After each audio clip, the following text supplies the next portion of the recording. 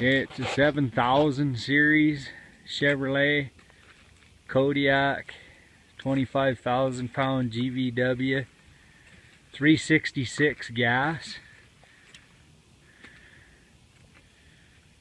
112,000 miles a little bit of seat wear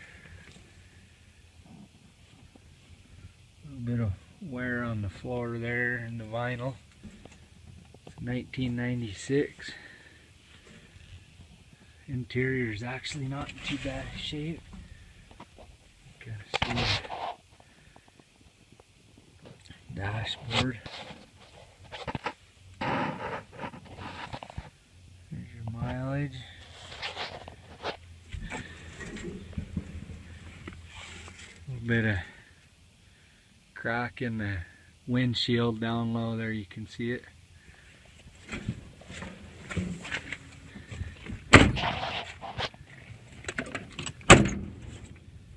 Body's nice and clean, tight. 60 gallon fuel tank. Here's the fuel tank. It's a five compartment tank. I'll have all that data. There's a little bit of surface rust here. There is uh, some problems with the tank and the meters have been pulled out.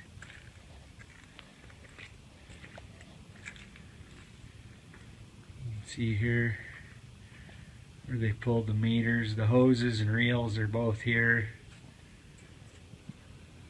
And the handles and then there's your five different compartments. Good low mile truck. Runs good, sounds good. Tires are in pretty decent shape. They're not brand new by any means, but there's probably 40 45% left. A little bit of surface rust here.